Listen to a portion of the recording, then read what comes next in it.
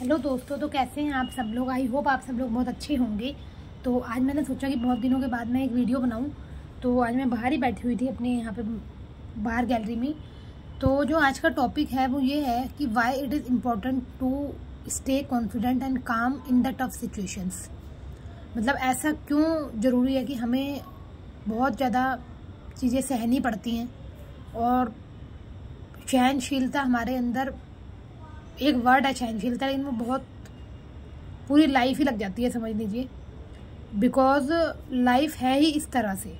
क्योंकि हमें डेली बहुत सारे काम जो हैं, वो तो करने ही करने हैं। उसके बाद आजकल जो हम प्रेमानंद जी का सुन रहे हैं, वो बहुत ही अच्छा आ रहा है। उसमें बार बार यही बताया जा रहा है कि जो मानव देह का जो मेन मकसद है, वो भगवत प्राप्ति है। मतलब प्रभु का नाम ही हमारे साथ जाएगा जब हम मर जाएँगे। तो इसलिए हमें, अगर हमारे काम नहीं भी बन रहे हैं हमें प्रभु को नहीं भूलना है।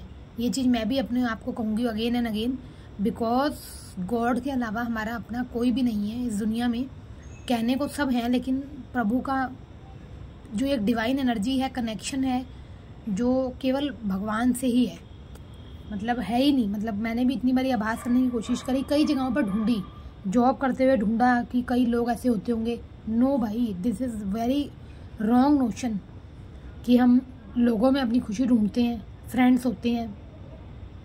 दैट इज़ आई मैं कहूँगी कि बिल्कुल असत्य है प्रभु के अलावा कोई अपना नहीं है। मतलब आप, आपके अपने होंगे अपने लेकिन जो जो शांति जो आत्मिक सुकून प्रभु के नाम में है वो कहीं पर भी नहीं है। डिवाइन एनर्जी पर बिलीव करिए अपना आपका छोटा सा काम है उसको आगे बढ़ाते रहिए आगे बढ़ते रहिए। Okay friends bye